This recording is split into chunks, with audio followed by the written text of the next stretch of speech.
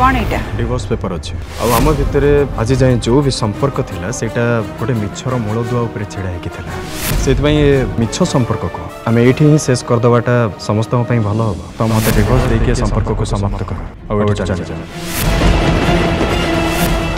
বহু আজি রাতি আটটায় তারঙ্গ রে